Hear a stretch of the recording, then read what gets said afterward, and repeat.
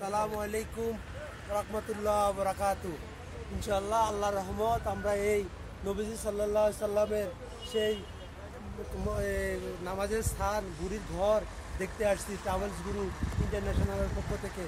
আল্লাহর রহমত, আমরা তাই অনেক কিছু ঘোরাফেরা করছি এবং কি অনেক কিছু দেখছি। এই জন্য আমরা ইন্টার ট্রাভেলস গুরু ইন্টারন্যাশনাল লিমিটেডকে অনেক ধন্যবাদ অনেক ধন্যবাদ অনেক ধন্যবাদ। আসসালামু আলাইকুম রহমতুল্লাহ বরাকাতু